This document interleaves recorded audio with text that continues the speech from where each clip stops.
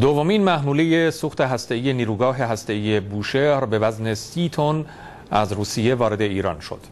سخنگوی سازمان انرژی اتمی ایران گفت این محموله طی مراحل قانونی و با در نظر گرفتن همه ملاحظات ایمنی حمل و به محل ویژه خود در نیروگاه اتمی منتقل شده است. خادم قائمی افزود در آینده نزدیک اولین نیروگاه اتمی ایران به شبکه برق سراسری متصل خواهد شد. گفتنی است سوخت جدید برای سال دوم فعالیت نیروگاه. در نظر گرفته شده است به گونه ای که یک سال پس از راه اندازی نیروگاه طی مراحل خاصی به جای بخشی از سوخت فعلی استفاده خواهد شد.